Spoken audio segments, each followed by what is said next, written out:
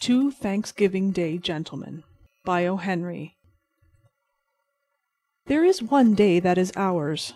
There's one day when all we Americans who are not self made go back to the old home to eat saleratus biscuits and marvel how much nearer to the porch the old pump looks than it used to.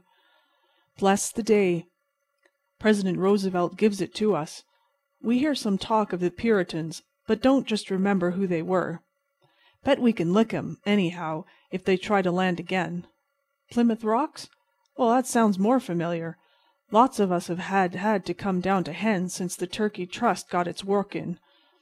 But somebody in Washington is leaking out advance information to 'em about these Thanksgiving Day proclamations. The big city east of the cranberry bogs has made Thanksgiving Day an institution. The last Thursday in November is the only day in the year on which it recognizes the part of America lying across the ferries. It is the one day that is purely American. Yes, a day of celebration exclusively American. And now for the story which is to prove to you that we have traditions on this side of the ocean that are becoming older at a much rapider rate than those of England are, thanks to our get up and enterprise. Stuffy Pete took his seat on the third bench to the right as you enter Union Square from the east, at the walk opposite the fountain. Every Thanksgiving Day for nine years he has taken his seat there promptly at one o'clock. For every time he had done so things had happened to him. Charles Dickensy things that swelled his waistcoat above his heart equally on the other side. But to day Stuffy Pete's appearance at the annual trysting place seemed to have been rather the result of habit than of the yearly hunger which, as the philanthropists seem to think, afflicts the poor at such extended intervals. Certainly Pete was not hungry. He had just come from a feast that had left him of his powers barely those of respiration and locomotion. His eyes were like two pale gooseberries firmly embedded in a swollen and gravy smeared mask of putty. His breath came in short wheezes. A senatorial roll of adipose tissue denied a fashionable set to his upturned coat collar. Buttons that had been sewed upon his clothes by kind Salvation fingers a week before flew like popcorn, strewing the earth around him.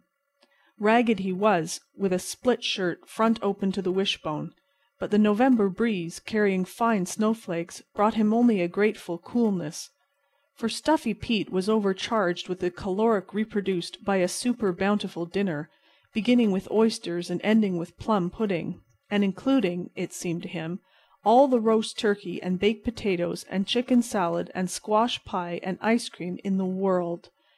Wherefore he sat, gorged, and gazed upon the world with after dinner contempt. The meal had been an unexpected one. He was passing a red brick mansion near the beginning of Fifth Avenue, in which lived two old ladies of ancient family and a reverence for traditions. They even denied the existence of New York, and believed that Thanksgiving Day was declared solely for Washington Square. One of their traditional habits was to station a servant at the postern gates with orders to admit the first hungry wayfarer that came along after the hour of noon had struck and banquet him to a finish. Stuffy Pete happened to pass by on his way to the park, and the seneschals gathered him in and upheld the custom of the castle. After Stuffy Pete had gazed straight before him for ten minutes he was conscious of a desire for a more varied field of vision. With a tremendous effort he moved his head slowly to the left, and then his eyes bulged out fearfully and his breath ceased, and the rough shod ends of his short legs wriggled and rustled on the gravel for the Old Gentleman was coming across Fourth Avenue toward his bench.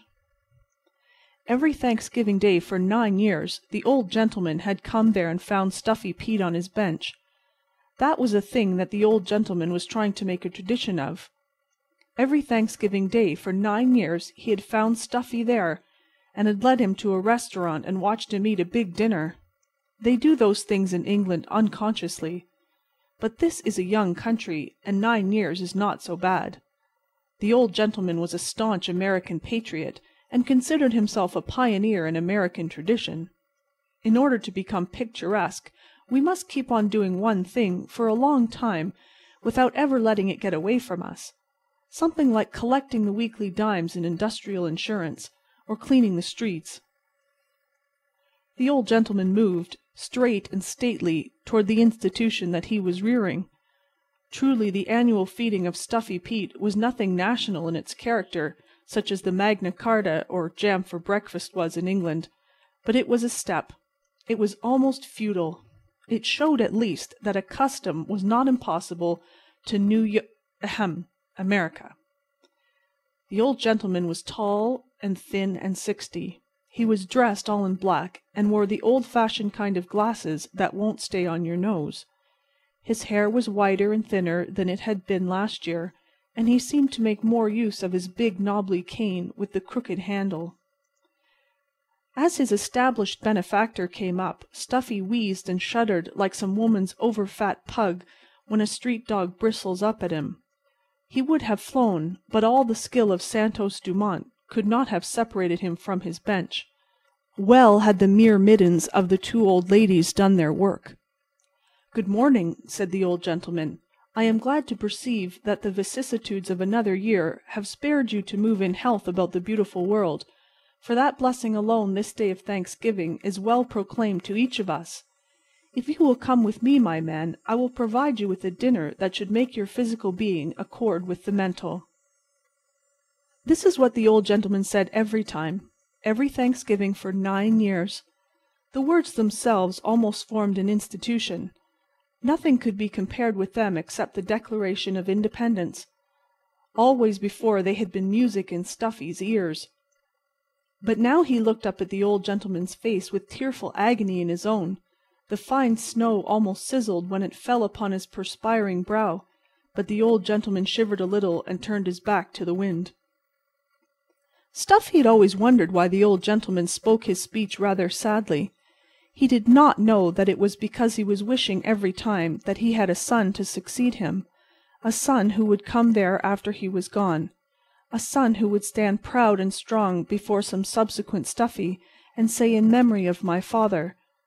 Then it would be an institution. But the Old Gentleman had no relatives. He lived in rented rooms in one of the decayed old family brownstone mansions in one of the quiet streets east of the park. In winter he raised fuchsias in a little conservatory the size of a steamer trunk. In the spring he walked in the Easter parade. In the summer he lived at a farmhouse in New Jersey hills, and sat in a wicker armchair, speaking of a butterfly, the Ornithoptera amphrysus, that he hoped to find some day. In the autumn he fed Stuffy a dinner. These were the Old Gentleman's occupations. Stuffy Pete looked up at him for half a minute, stewing and helpless in his own self pity. The Old Gentleman's eyes were bright with the giving pleasure. His face was getting more lined each year, but his little black necktie was in as jaunty a bow as ever, and the linen was beautiful and white, and his gray mustache was curled carefully at the ends. And then Stuffy made a noise that sounded like peas bubbling in a pot. Speech was intended, and as the Old Gentleman had heard the sound nine times before, he rightly construed them into Stuffy's old formula of acceptance. "Thankee, sir. I'll go with you, and much obliged. I'm very hungry, sir." The coma of repletion had not prevented from entering Stuffy's mind the conviction that he was the basis of an institution. His Thanksgiving appetite was not his own. It belonged by all the sacred rights of established custom, if not by the actual statute of limitations, to this kind old gentleman who had preempted it.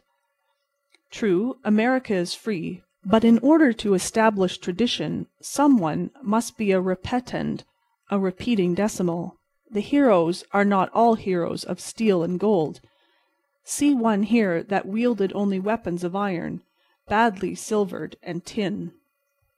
The Old Gentleman led his annual protege southward to the restaurant, and to the table where the feast had always occurred. They were recognized. "Here comes de old guy," said a waiter, "dat blows dat same bum to a meal every Thanksgiving." The Old Gentleman sat across the table, glowing like a smoked pearl at his cornerstone of future ancient tradition. The waiters heaped the table with holiday food. And Stuffy, with a sigh that was mistaken for hunger's expression, raised knife and fork and carved for himself a crown of imperishable bay. No more valiant hero ever fought his way through the ranks of an enemy. Turkey, chops, soups, vegetables, pies, disappeared before him as fast as they could be served.